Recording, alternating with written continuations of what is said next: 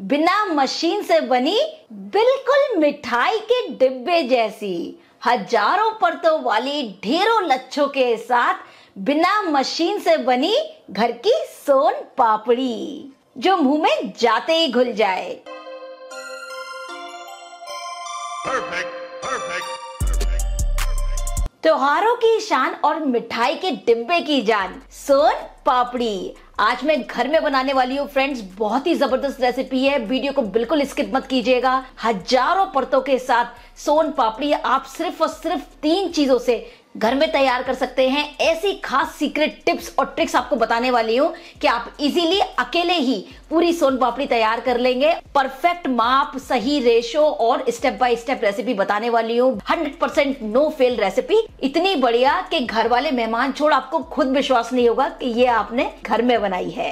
Video शुरू करने से पहले फ्रेंड्स आप सभी लोगों से निवेदन है, अगर आपको मेरे वीडियोस अच्छे लगते हो तो प्लीज़ वीडियो को लाइक शेयर और आपके अपने चैनल कुक विद पारुल को सब्सक्राइब करना ना भूलें। मिठाई के डिब्बे जैसी ढेरों परतों वाली सोन पापड़ी मिठाई बनाने के लिए सबसे पहले आप गैस पर चढ़ाइए एक कढ़ाई या पैन। यहाँ पर जो सबसे ज़रूरी चीज़ है वो है उसका मेज़रमेंट, यानी सही माप। यहाँ पर मैं डाल रही हूँ दो चम्मच घी। ये फ़ेमस सोन पापड़ी मिठाई बनाने के लिए बस दो ही चम्मच घी चाहिए। इससे ज़्यादा हमें बिल्कुल ज़रूरत नहीं है। फ्लेम को यहाँ बिल्कुल लो रखेंगे, लो फ्लेम पर हल्का सा घी को गर्म होने देंगे। अब यहाँ पर मैं ले रही हूँ एक कटोरी मैदा। घर में जो सिंपल कटोरी होती है, कोई भी कटोरी आप सेट कर लीजिए तो आपको नाप लेना आसान पड़ेगा। तो इस कटोरी से एक कटोरी मैंने मैदा ली है, कोई ग्राम वगैरह में मेज़रमेंट करने की ज़रूरत ही नहीं, परेशानी ही नहीं होगी, आप कटोरी से समझिए। और साथ ही यहाँ पर हम लेंगे उसी कटोरी से आधा कटोरी बेसन। अब जो रेशो रहेगा, वो रहेगा एक कटोरी मैदा, आधा कटोरी बेसन। उसी अनुसार अब हम आगे के रेशो भी लेंगे। बिल्कुल धीमी आँच पर दोनों चीज़ों को एकदम बढ़िया से हमें रोस्ट करना है, तब तक, जब तक कि इसमें से सौंधी सौंधी बढ़िया सी खुशबू ना आने लगे। अगर यहाँ आपको बहुत ही ज़्यादा बेसन सूखा लगे तो थोड़ा सा घी आप और डाल सकते हैं। लेकिन बिल्कुल भी हमें इस मिक्स को गीला नहीं करना है ज़्यादा। अब देखिए, सोन पापड़ी कई तरह से बनाई जाती है। आज जो तरीका मैं आपको बता रही हूँ, वो बहुत ही आसान है फेल प्रूफ है। साथ के साथ उससे आप अकेला ही बना लेंगे, किसी और की हेल्प की आपको ज़रूरत ही नहीं पड़ेगी। बहुत सारी डिमांड थी सोन पापड़ी के लिए कि मैं एक परफेक्ट रेसिपी सोन पापड़ी की आपको बताऊँ। मैंने बहुत मेहनत की है इस रेसिपी पे। उसके बाद मैं आपके सामने ये लेकर आई हूँ, जिससे आप सभी की सोन पापड़ी एक ही बार में परफेक्ट बन सके, कोई आपसे गलती ना हो। और ये देखिए, लगातार चलाते हुए लगभग 10 मिनट के करीब मैंने बेसन और मैदा के मिक्स को भून लिया है। आप देख सकते हैं, हल्का कलर भी चेंज हो गया है और बहुत ही प्यारी सी सौंधी सौंधी खुशबू आ रही है। तो बस तुरंत से गैस ऑफ़ कर देंगे। इस स्टेज पर फ्लेवर के लिए मैं यहाँ डाल रही हूँ आधा छोटी चम्मच इलायची पाउडर। तो बस एक बड़े बर्तन पर इस तरह छलनी लगाएँगे और छलनी पर सारा मिक्स डाल करके ना इस तरह छान लेंगे। इससे क्या होगा कि जो मैदा बेसन वाला ये मिक्स है ना हल्का हल्का हो जाएगा, समान हो जाएगा। इसमें बिल्कुल भी लम्स नहीं रहेंगे। सारे पॉइंट्स हर स्टेप पे आपको बताती जा रही हूँ, जिससे कि आपको इस बार सोन पापड़ी बनाने में इतनी सी भी परेशानी ना हो। और ये देखिए परफेक्ट तो इसको रख देते हैं अभी अलग। अब देखते हैं वो इम्पोर्टेंट पॉइंट जिसको आप बिल्कुल स्किप मत कीजिएगा। सबसे इंपॉर्टेंट सोन पापड़ी में चाशनी ही होती है। अगर ये परफेक्ट बनेगी तो सोन पापड़ी भी आपकी बेहतरीन बनेगी पहली बार में। तो चाशनी बनाने के लिए ये देखिए, मैंने यहाँ रखा है एक चाय वाला पैन। अब इसमें मैं ले रही हूँ डेढ़ कटोरी चीनी। ये देखिए, एक कटोरी चीनी ये हो गई और आधा कटोरी चीनी और ले रही हूँ। यहाँ पर हमें बिल्कुल वही माप रखना है जो हमने बेसन मैदा का लिया है। हमने लिया था एक कटोरी मैदा और आधा कटोरी बेसन, यानी टोटल डेढ़ कटोरी। तो डेढ़ कटोरी ही हम चीनी लेंगे। बिल्कुल इस माप को आप याद रखिए। तो यहाँ पर हमने चीनी ले ली है। इसमें मैं डाल रही हूँ सिर्फ़ आधा कटोरी पानी।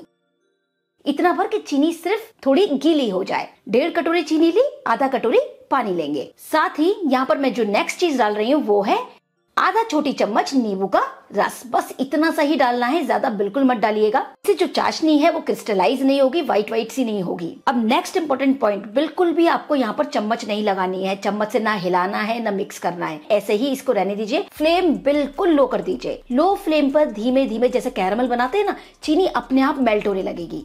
ये देखिए, चीनी मेल्ट होना शुरू हो गई है। अगर आपको हिलाना हो तो देखिए हैंडल पकड़कर बस इस तरह हल्का सा हिला दीजिए। मैं आपको हर स्टेप पर दिखाऊँगी कि चाशनी की कंसिस्टेंसी और कलर कैसा होना चाहिए। यही वो की पॉइंट है जो आपकी सोन पापड़ी को बनाएगी परफेक्ट अब ये देखिए, चीनी पूरी मेल्ट हो गई है, गाढ़ापन आना शुरू हो गया है। अब इस स्टेज पर, ये देखिए, थोड़ा सा मैंने लिया है कटोरी में पानी। ये देखिए, मैंने जैसी चाशनी डाली, पूरी पानी में मिक्स हो गई। उसकी गोली नहीं बन रही है, यानी उसकी फर्म बॉल नहीं बन रही है। तो अभी हमें चाशनी को और पकाना है। अब इस स्टेज पर थोड़ी देर बाद मैं आपको फिर से दिखाती हूँ। थोड़ी सी चाशनी आप कटोरी में फिर से डालकर देखिए। ये देखिए अभी भी जो है, चाशनी का जो कलर है, वो सफ़ेद सही है कलर चेंज नहीं हुआ है और जो बॉल बन रही है, यानी जो शेप ये ले रही है, अभी उसमें मुलायम है, उतना कड़क पर नहीं आया है तो अभी चाशनी को थोड़ा और पकाएँगे। तो टोटल अगर आप मानकर चलें तो 20 से 22 मिनट धीमी आँच पर चाशनी को पकाने में आपको लगेगा। चाशनी के अंदर वो परफेक्ट कलर आना बहुत ज़रूरी है, एकदम परफेक्ट लच्छेदार, ढेरों परतों वाली सोन पापड़ी बनने के लिए। अब ये देखिए धीरे धीरे करके चाशनी का कलर चेंज हो रहा है। अच्छा कलर चाशनी में दिख रहा है, ये देखिए। आप देख सकते हैं, इसलिए मैंने स्टील का बर्तन लिया जिससे आप ये देख पाए कि कलर क्या है। अब इस स्टेज पर मैं वापस आपको चेक कर कर दिखाती हूँ। और ये देखिए, पानी में डालने पर मैं इसको इकट्ठा कर पा रही हूँ, ये होल्ड हो रही है बॉल ये देखिए परफेक्ट और कलर भी प्रॉपर चेंज हो गया है। गैस को बंद कर देंगे इस स्टेज पर, क्योंकि बहुत ज़्यादा गर्म है चाशनी तो धीरे धीरे गैस बंद के बाद भी कलर पकड़ लेगी। और अभी इसमें काफ़ी आप झाग यानी बबल्स देख रहे होंगे तो थोड़ा थोड़ा चाशनी को गैस बंद करके भी चलाते रहेंगे। सेटल डाउन होने देंगे इसके झाक को। और ये देखिए कलर अब थोड़ा सा पहले से डार्क आपको दिख रहा होगा और झाक भी कम हो गए हैं। अब यहाँ देखिए नेक्स्ट इंपॉर्टेंट स्टेप अब यहाँ पर देखिए मैंने लिया है ये इस तरीके का नॉन स्टिक तवा। हम लोग के घर में ज़्यादातर इस तरीके के तवा पैन रहते ही हैं। बहुत ही इजी तरीका है। इससे आपको बिल्कुल परेशानी नहीं होगी चाशनी पर काम करने में। आप चाहें तो स्टील की थाली, घी या तेल से ग्रीस कर लीजिए, वो भी ले सकते हैं। या अगर आपके घर में सिलिकॉन बोर्ड की सुविधा हो तो वो ले लीजिए। इससे आपकी चाशनी चिपकेगी नहीं, हमें इजी हो जाएगा। पूरी चाशनी को इस पर फैला देंगे। देखिए इस तरह। अब ये देखिए, चाशनी जो मैंने अभी डाली है इसमें, अभी इसमें मूवमेंट है, हल्की हिल रही है। थोड़ा सा इसको सेट होने देंगे। इसी तरह दो तीन मिनट। और दो तीन मिनट बाद आप ये देख सकते हैं कि चाशनी में अब बहुत ज़्यादा मूवमेंट नहीं है, ये थोड़ी सेटल हो गई है। तो आप इस तरह से एक स्पून से या इस तरह का कोई आपके पास स्पैटुला हो तो धीरे धीरे चाशनी पर हमें करना है बढ़िया से काम। यहाँ से फोल्ड करेंगे, यहाँ से फोल्ड करेंगे और इसको शेप अप करते जाएँगे। मतलब इसमें एक फर्मनेस लाते जाएँगे, जिससे कि हम इसे इजीली हाथ से पकड़कर हैंडल कर पाए स्ट्रेच कर पाए। मतलब जो भी सोन पापड़ी का जो इतनी भी मेहनत है इंपॉर्टेंट काम है, वो यहीं पर है। बाकी तो आप देख ही रहे हैं कि इंग्रेडिएंट के लिए तो कुछ भी नहीं चाहिए, तीन ही चीज़ें हैं। इसको ना मैं बटर पेपर पर ट्रांसफ़र कर रही हूँ, जिससे मैं आपको इजीली दिखा पाऊँ इसका टेक्सचर कलर सब चीज़। एक्चुअली वो ब्लैक था ना तो क्लियरली दिखाई नहीं दे रहा था, इसलिए मैंने इसको चेंज कर लिया। घर में आप बना रहे तो कोई ज़रूरत नहीं है।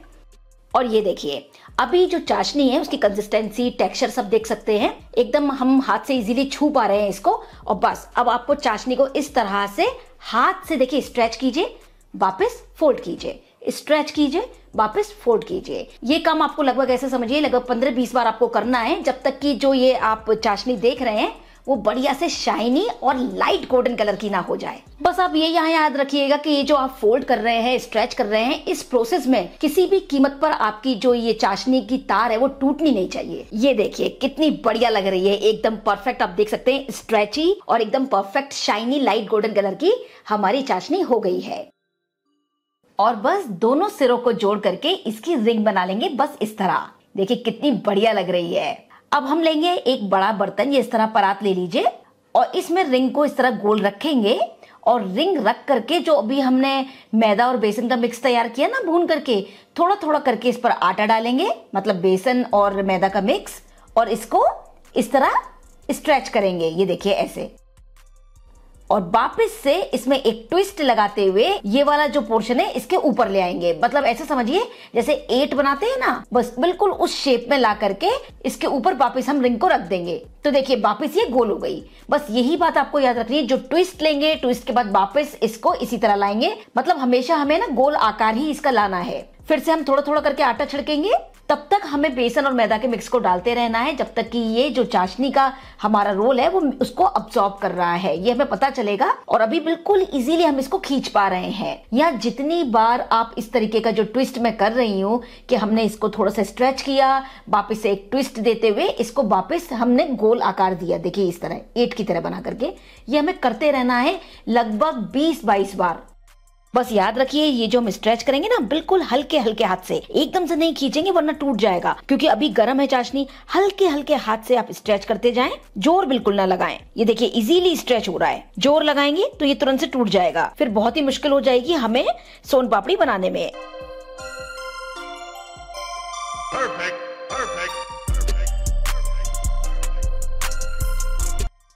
और फिर से स्ट्रेच करके फिर से इसको एट जैसा बनाएँगे।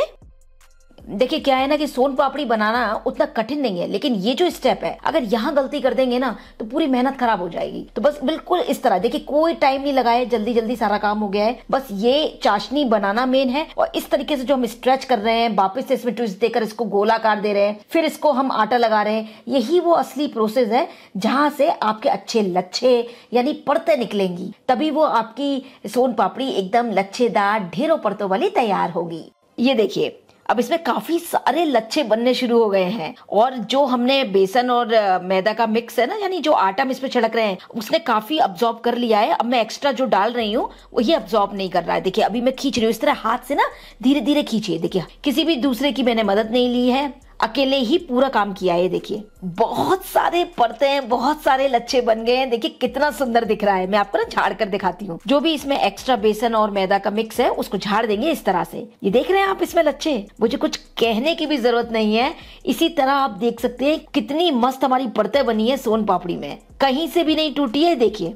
अकेले बना ली, इसलिए मैंने आपको ये वाला प्रोसेस बताया कि आप बगैर किसी की मदद लिए हुए इस तरह अकेले भी बना सकते हैं। बस एक बात आप याद रखिएगा कि जब हम इसको स्ट्रेच कर रहे हैं, अगर आपका स्ट्रेच जब तक हो रहा है, कीजिए उसको, क्योंकि उतना ही हल्का और उतनी ही ढेरों परतों वाली आपकी सोन पापड़ी तैयार होगी। ऐसे बीच में छोड़िएगा मत। अब यहाँ क्या हुआ कि मैं जब इसको इस तरह स्ट्रेच कर रही हूँ तो अब बहुत ज़्यादा स्ट्रेच नहीं हो रहा, क्योंकि जो चाशनी थी, अब वो पूरी तरह ठंडी हो गई है, गर्म नहीं रही है, और इसने जितना आटा लेना था वो भी ले लिया है।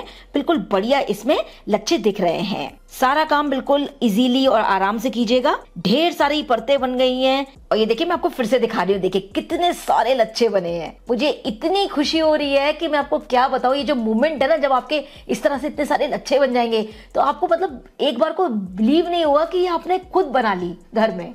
और ये देखिए, बिल्कुल भी कहीं से हार्ड नहीं दिख रही है, चुई नहीं दिख रही है, एकदम परफेक्ट हमारी सोन पापड़ी की परतें तैयार हुई हैं। ये देखिए। तो बस जो भी एक्स्ट्रा बेसन मैदा वाला मिक्स था उसको हटा देंगे और इस तरह से ढेरों लच्छे और परतों के साथ सोन पापड़ी है तैयार। अब इसको देते हैं शेप तो देखिए, इस तरीके की कोई भी गोल कटोरी ले लीजिए। थोड़े से बारीक कटे हुए पिस्ता और बादाम की कतरन मैंने इसमें डाल दी है। अब थोड़ा सा पोर्शन हम अपनी सोन पापड़ी के लच्छों का इस तरह लेंगे। हल्के हाथ से प्रेस करेंगे। बिल्कुल जेंटली हल्के हाथ से। और बस ऐसे पलट करके इसको उठा लेंगे।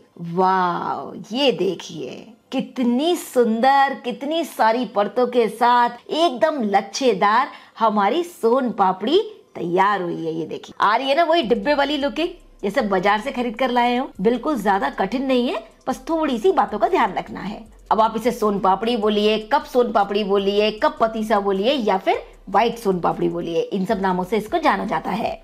यहाँ दूसरी ज़रूरी बात, बहुत ज़्यादा इसको हवा में मत रखिएगा, वरना क्या होगा कि ये मॉइस्चर पकड़ लेगी और फिर ये चिपकी चिपकी हो जाएगी। इसलिए इस तरह बना करके आप एक प्लास्टिक की कोई पन्नी या प्लास्टिक की इस तरह कोई शीट ले लीजिए, जो पैकेट होता है ना कट कर लीजिएगा और इस तरह से उसको पैक कर दीजिए। ऐसी मिलती है ना बाज़ार में भी, जिससे कि इसमें हवा ना लगे।